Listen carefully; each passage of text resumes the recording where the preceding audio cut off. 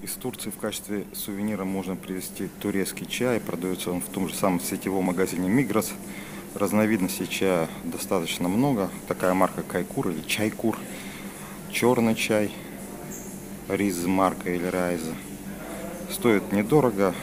Такие упаковки. Бывает не только черный чай, но с различными добавками. Или, допустим, марка Коралли. Э, чай необходимо турецкий заваривать не так, как мы привыкли. И хочу отметить, что чайной церемонии в Турции не более 100 лет, хотя кажется, как турки любят чай, что они пили его целую вечность.